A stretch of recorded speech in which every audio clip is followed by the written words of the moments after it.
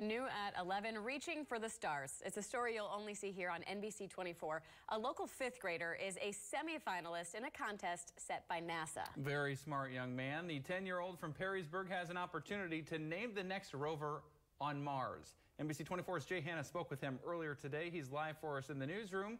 So, Jay, what name did he go with?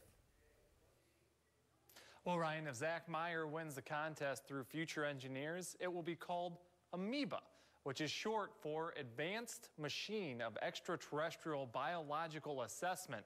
Not even easy to say, not bad for a 10-year-old.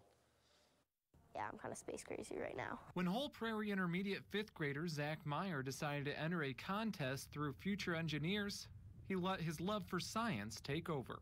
The idea of naming something that's going to go to a place where no humans and few machines have been just completely fascinated me. He is a semifinalist in a competition to name the next NASA Mars rover.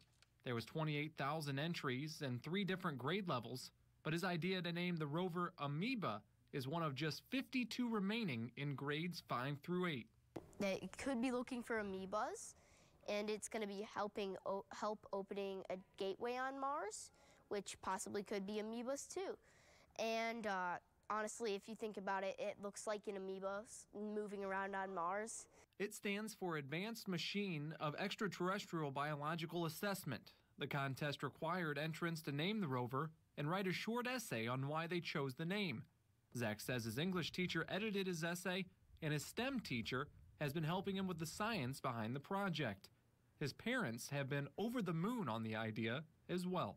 So they were my two biggest editors, I guess. And uh, they've kind of helped me along the way. Zack is a straight A student and has found himself even more in love with space and NASA while going through the Mars rover contest. He thinks what they do every day is truly fascinating. They're taking a risk here. They're doing something they know could help us or could just be a total waste of time.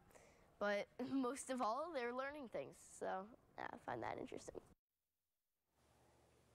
Yeah, the finalists for the contest will be announced on January 21st and they receive an interview with the judges. There's also a public vote during the finals, too.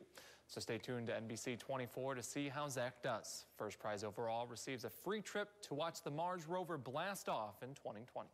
Live in the newsroom, Jay Hanna, NBC 24 News. He's a smart kid and also a Harry Potter.